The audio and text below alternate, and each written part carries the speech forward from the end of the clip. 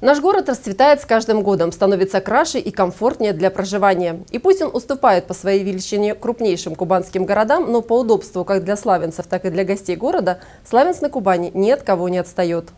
Обеспечить динамичные изменения к лучшему невозможно без постоянных усилий районного руководства. Реконструкция Северного парка проводится в рамках национального проекта. Этот большой социальный объект постоянно находится в поле зрения властей. Глава Славянского района Роман Синеговский вместе с представителями всех заинтересованных служб контролирует ход работ на этом объекте. В центре внимания соблюдение строителями установленного графика и обеспечение высокого качества работ. В парке уже многое сделано. Построены спортивные и детская площадки, обустроены широкие аллеи, сделано освещение – на повестке дня высадка деревьев и кустарников, и эта задача очень серьезная. Здесь и вот здесь, это, ну, именно вот эта аллея, да, частично, это тоже первая очередь. Первая очередь.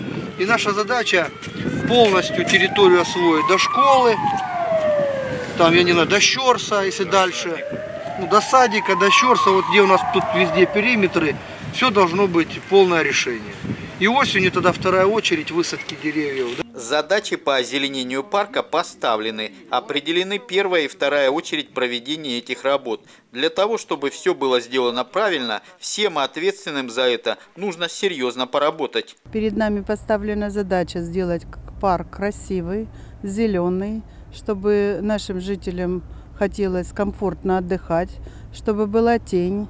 Вот. По возможности мы сохраняем все существующие деревья, то есть может где-то только будет санитарная обрезка деревьев, и будут досаживаться новые деревья.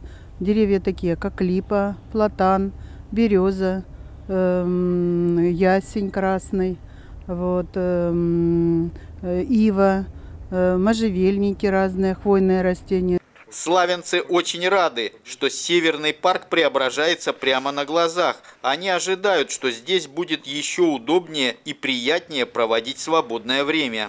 Очень радостно, что есть детская площадка, шикарнейшая просто детская площадка. У меня внук, и мы с ним ходим туда гулять. Есть где детям разгуляться. Для взрослых то же самое. Тренажеры, э, прогулочные площадки, дорожки. Э, я, честно говоря, не знаю, что там в перспективе будет, но я думаю, что это будет очень хорошее место для отдыха славянцев.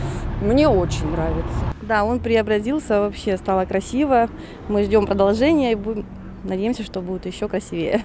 Не за горами весна, а значит жители и гости города все чаще будут приходить в обновленный парк, который станет для многих любимым местом отдыха. Андрей Вишневский, Георгий Калинин, программа «События».